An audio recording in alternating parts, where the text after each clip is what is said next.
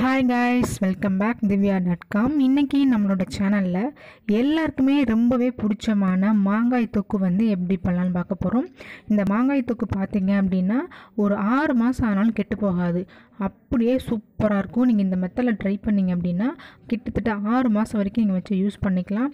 Taste wise ரொம்பவே சூப்பராக இருக்கும். இப்போ வாங்க நம்ம வீடியோக்குள்ளே போகலாம் இன்றைக்கி நான் எடுத்துருக்கிற மாங்காய் பார்த்தீங்க அப்படின்னா கிளிமூக்கு மாங்காய் வந்து எடுத்திருக்கேன். நீங்கள் என்ன மாங்காய்னு எடுத்துக்கோங்க.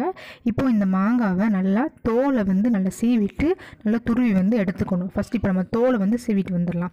பார்த்தீங்கன்னா இந்த மாதிரி தோலை வந்து நல்லா சீவிக்கோங்க. நல்லா நம்ம தேய்க்கிறதுனால தோலோட தேய்ச்சோம் அப்படின்னா நல்லா இருக்காது. ஸோ அதனால தான் தோலை எடுத்துகிட்டு நம்ம வந்து தேய்க்கிறோம். உங்களுக்கு தோலோடு வேணும்னா நீங்கள் அப்படியே கூட தேய்ச்சி வந்து எடுத்துக்கலாம். அது உங்களோட இஷ்டம் தான் இப்போது இது கூட பார்த்தீங்கன்னா மிளகாய்த்தூள் இது நல்ல காரமான மிளகாய்த்தூள் வந்து சேர்த்துக்கோங்க. நான் வந்து நல்ல காரமாக இருக்கிற மிளகாய்த்தூள் வந்து ஒரு டேபிள் ஸ்பூன் அளவுக்கு வந்து சேர்த்துக்கிறேன். நான் இன்றைக்கி எடுத்துருக்க மாங்காய் பார்த்தீங்கன்னா சின்ன சைஸ் மாங்காய் தான். ஸோ இந்த மாங்காய்க்கு தேவையான அளவுக்கு மட்டும் நான் வந்து காரம் சேர்த்துருக்கேன். அப்புறம் இது கூட பார்த்திங்கன்னா கல் உப்பு. நம்ம அதிக நாள் வச்சுருக்கோம் அப்படி அப்படின்னா உப்பு வந்து நல்லா கண்டிப்பாக அதிகமாக சேர்க்கணும். அதுவும் கல் உப்பு தான் கண்டிப்பாக சேர்க்கணும். அப்போ தாங்க ரொம்பவே நல்லாயிருக்கும் உப்பு அதிகமாக சேர்க்கும் போது ஈஸியாக வந்து கெட்டு போகாது. ஸோ இப்போ வந்து மிளகாய்த்தூள் அண்டு உப்பு சேர்த்து நல்லா ஃபஸ்ட்டு வந்து கலந்து வச்சுக்கோங்க.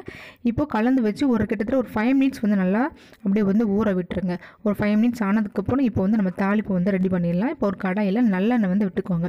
நல்லெண்ணெய் வந்து எவ்வளோ வேணாலும் விடலாங்க. அது உங்களோட இஷ்டம் தான். ஊறுகாயை பொறுத்த வரைக்கும் எண்ணெய் உப்பு அண்டு காரம் இதெல்லாம் இருக்கும்போது தான் நல்லா ஈஸியாக கெட்டு போகாமல் ரொம்பவே சூப்பராக இருக்கும். அதுவும் நல்லெண்ணெய் வ- சேர்க்கும் போது டேஸ்ட் வைஸ் ரொம்பவே சூப்பராக இருக்கும். நல்லா எண்ணெய் காஞ்சதுக்கப்புறமா கடுகு உளுந்த உளுந்த பருப்பு வந்து சேர்த்துக்கோங்க. அது நல்லா பொரிஞ்சதுக்கப்புறமா ஒரு கொத்து கருவேப்பிலை வந்து சேர்த்துக்கோங்க. உங்ககிட்ட பெருங்காயத்தூள் இருந்தது அப்படின்னா பெருங்காயத்தூள் சேர்த்துக்கோங்க. என்கிட்ட பெருங்காயத்தூள் இல்லா இல்லாததுனால நான் பெருங்காய கட்டியை வந்து ஒன்று தட்டி வச்சுருக்கேன். அதை இந்த டைமில் சேர்த்துக்கிறேன். இப்போ நீங்கள் பெருங்காயத்தூள் சேர்க்குறதா இருந்தால் கடுகும் கருவேப்பிலையும் நல்லா பொரிஞ்சு வந்ததுக்கப்புறம் லாஸ்ட்டாக வந்து நீங்கள் பெருங்காயத்தூள் வந்து சேருங்க. நான் கட்டி சேர்க்குறனால இப்போ கருவேப்பிலை சேர்த்த டைம்லேயே வந்து பெருங்காய கட்டியை சேர்த்துட்டேன். இப்போ இதெல்லாம் நல்லா பொரிஞ்சதுக்கப்புறமா நம்ம ஊற வச்சிருக்கிற அந்த மாங்காவை வந்து எடுத்து இதில் வந்து சேர்த்து நம்மளோட சேனலில் போடுற வீடியோஸ்லாம் உங்களுக்கு பிடிச்சிருந்தது அப்படின்னா மறக்காமல் வந்து நம்மளோட சேனலை சப்ஸ்கிரைப் பண்ணிடுங்க இந்த வீடியோ பிடிச்சது அப்படின்னா லைக் பண்ணிடுங்க இப்போ நம்ம மாங்காய் எல்லாத்தையும் சேர்த்துட்டு அந்த எண்ணெயோடு சேர்ந்து நல்லா வந்து கலந்து விடணும்.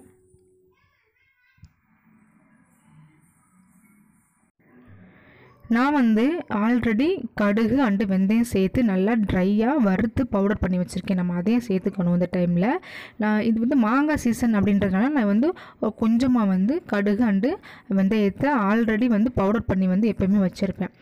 ஓகேவா? அப்படி உங்ககிட்ட இல்லாத பட்சத்துக்கு நீங்கள் இந்த டைமில் வந்து ஒரு ஸ்பூன் அளவுக்கு கடுகும் ஒரு அரை ஸ்பூன் அளவுக்கு வந்து வெந்தயமும் சேர்த்து இந்த மாதிரி நல்லா பவுடர் பண்ணி எடுத்துக்கோங்க.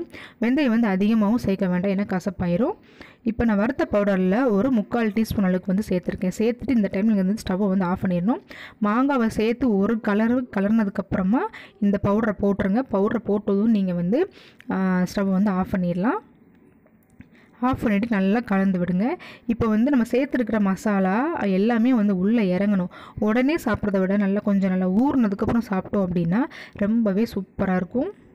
இப்போ மாங்காய் தொக்கு பாருங்கள் எனக்கு வந்து அப்படியே எச்சில் வந்து ஊறுறது அவ்வளோ சூப்பராக இருக்குது ஃப்ளேவர் ரொம்பவே நல்லாயிருக்கு மாங்காய் தொக்கு சூப்பராக ரெடி ஆயிடுச்சுங்க. முக்கியமாக பார்த்தீங்கன்னா மா- இந்த மாங்காய் தொக்கு தயிர் சாதம் சாம்பார் சாதம் இதுக்கெலாம் வந்து செம்ம ஒரு காம்பினேஷனாக இருக்கும். இந்த மாதிரி சீசன் டைம்லேயே பார்த்தீங்கன்னா இந்த மாதிரி நம்ம தொக்கு ரெடி பண்ணி வச்சுட்டோம் அப்படின்னா நமக்கு ரொம்பவே வந்து யூஸ்ஃபுல்லாக இருக்கும். கண்டிப்பாக நீங்கள் மறக்காமல் இந்த மாங்காய் தொக்கை வந்து ட்ரை பண்ணி பாருங்கள்